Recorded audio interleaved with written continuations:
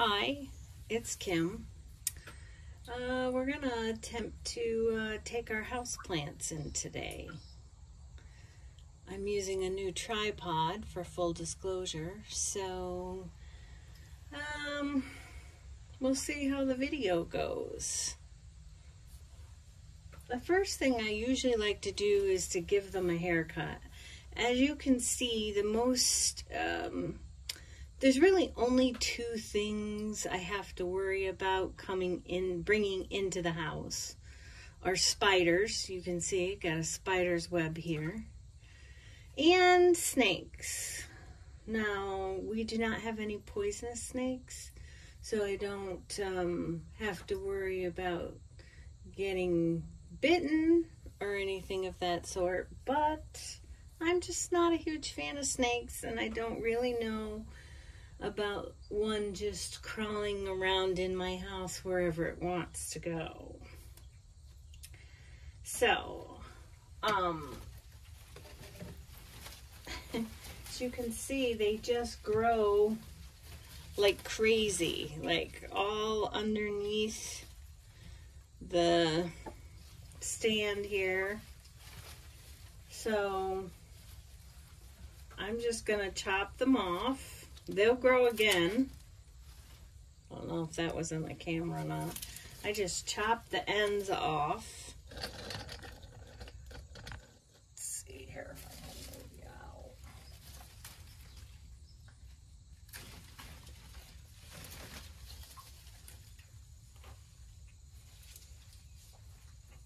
And toss them over over here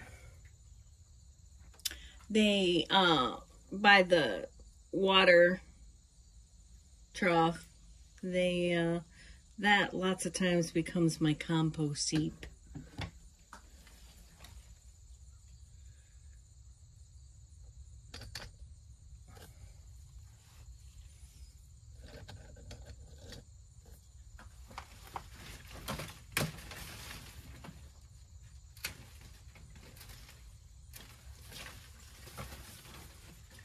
You don't necessarily have to cut the bottoms off. I just do because where I'm putting them in my house is in the master bath and um, they tend to hang down. I don't have anything I grow them up. I have shelves on the wall, so they tend to grow down into the bath. So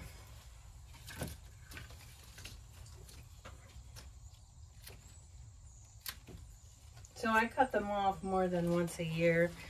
I know some would find that a shame because it's kind of the goal, I guess, maybe. I like them to be thick too, though. I don't like them to, you can see I'm cutting a fair amount off there.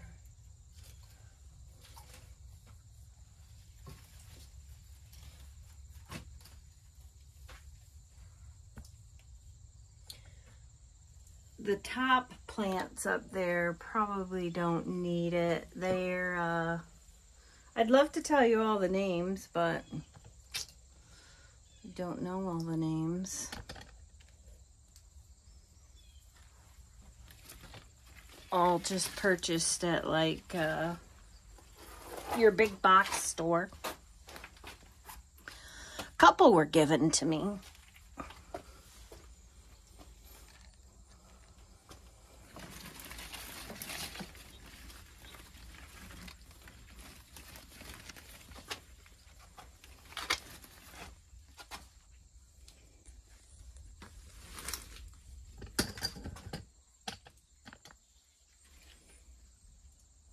This would be easier with a tripod, but I'm not so sure.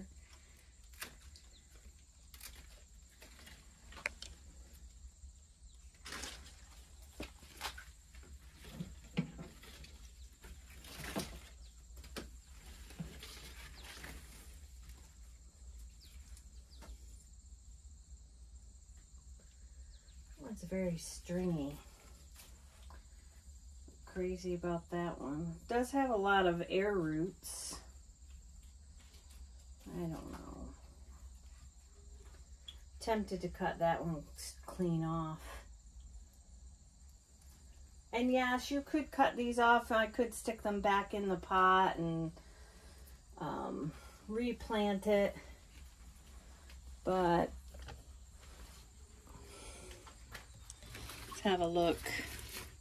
Down in here, and the reason I mentioned snakes and spiders is because in the past, that's what I've dealt with. And the snake was actually living down in the pot and it was very obvious.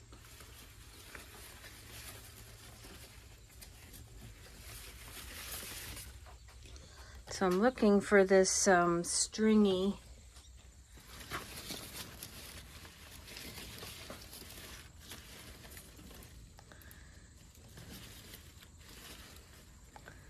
Yeah, I don't know has a long stretch without sleeves, without leaves, sorry.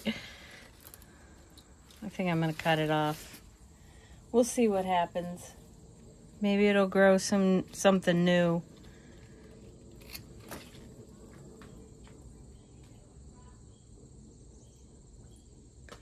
So, no snakes in that pot or that pot. That pot's a little crowded, I would think, on the smaller side.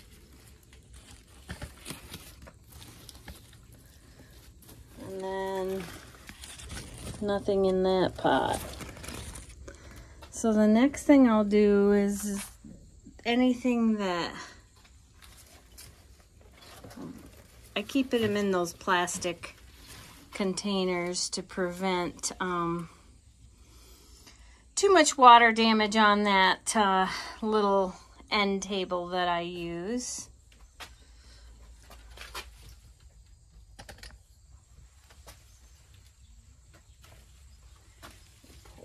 Get it unstuck. They, they like to grow around each other through the birdhouse.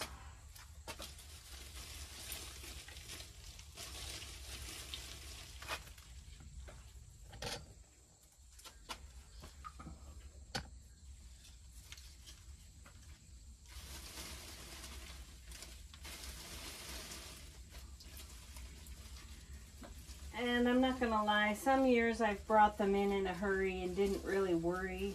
I mean, other than the snakes, didn't really check the bugs so much.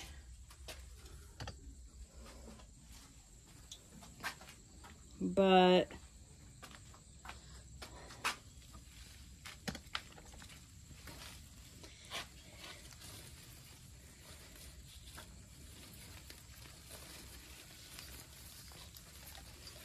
trying to get this one untangled. Don't really know why I feel the need to get it untangled, but I kind of like to look at the air roots on that one. Kind of like them. I like to feel like when I bring it in in the fall, it's getting a fresh start.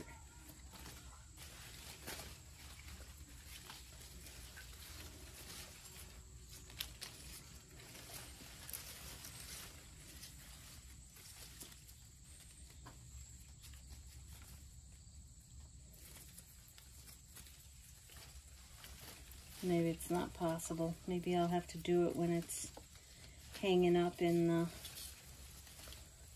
master bath because of all those air roots and new growth and this one's pretty thick. I try to pick all the dead leaves off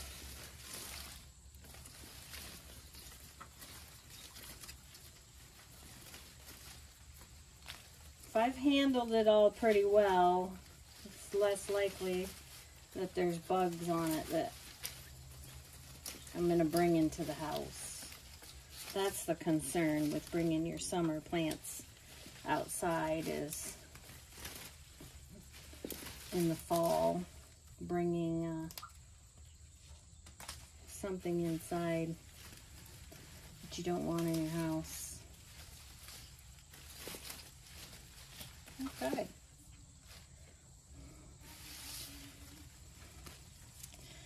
Now some people spray them down real good with a hose. And let them dry out. But I'm just gonna call that one good.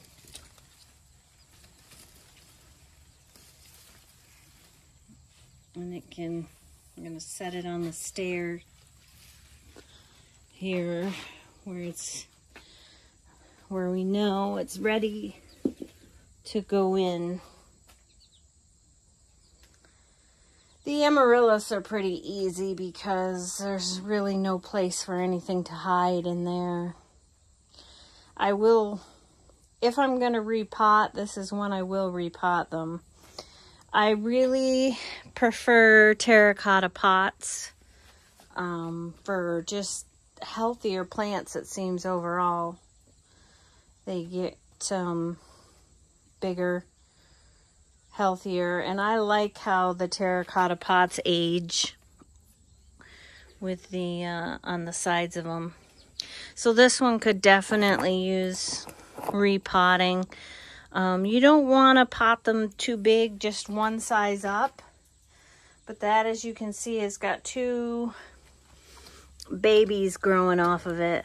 One there, one there, and that I believe is a uh, foxglove. So that one will get put into a terracotta pot. I'll have to check downstairs to see if I have one, an extra laying around.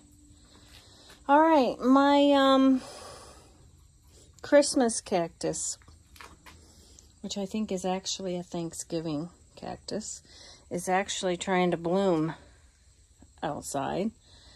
And I know it's got spider webs. So I'm planning on dunking this in the water tank, giving it a good wash to make sure all the spiders get off of it.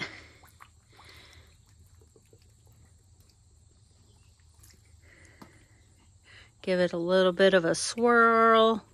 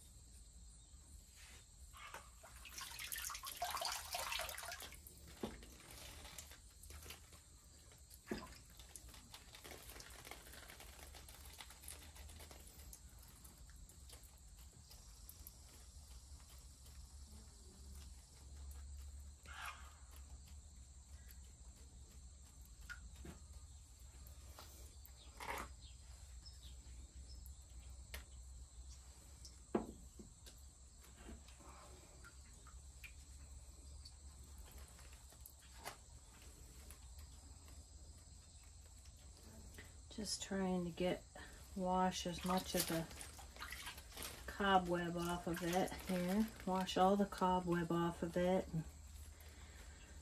Make sure there's no spiders hanging out, hanging on. Again, we don't have any lethal spiders here. Most things are smart enough to know not to live in zone 4B with uh, excessive snow in a snow belt off of Lake Ontario. So, all right, got that one pretty uh, cleaned up. That one can go on the stairs.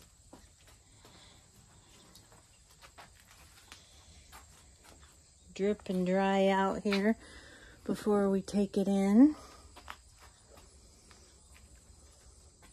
I set those amaryllis there the other day when it was cold.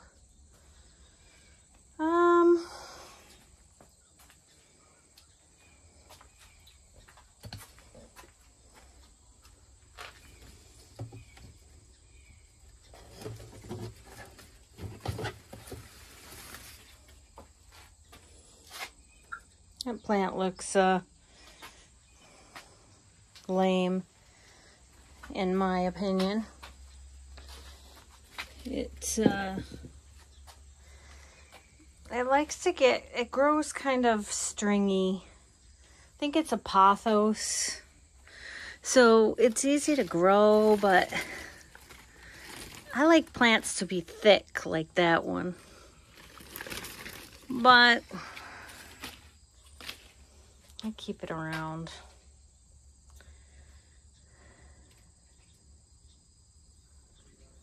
That one looks like it's in pretty good shape. It does need some watering, but I will wait until we go inside, till I take it inside, so I don't drip water through the house. Then this one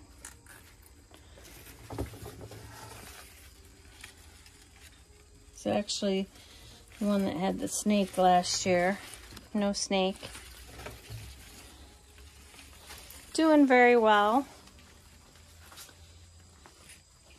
Don't see any spider webs or anything going on with that one. Overall looking very healthy. This is one that um, closes up, curls up at night.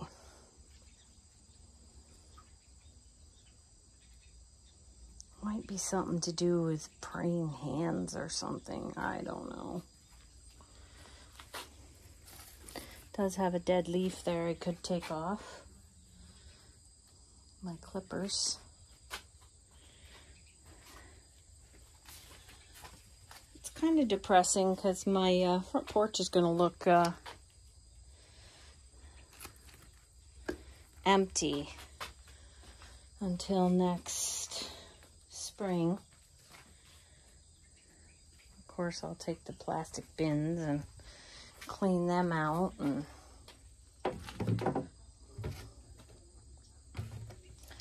should uh, get a look at how I've got the bins arranged. Lots of times these videos are for my own memory as well.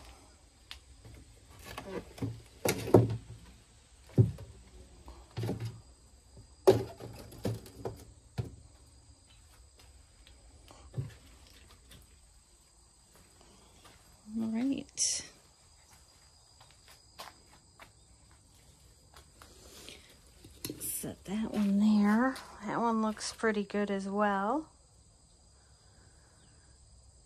Oh, do have another house plant in here in my window box. Just have it wedged down in the dirt, sitting there. Dirt looks pretty good. It was my overflow piece for that box. Spill, the spiller. It's got some, uh, as you can see, it's front heavy. So I will have to uh, prop it in the house as well so it doesn't fall over.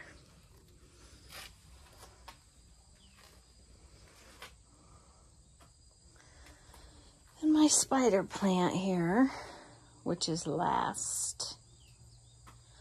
That one's heavy. So that one's going to stay right there until I actually carry it in.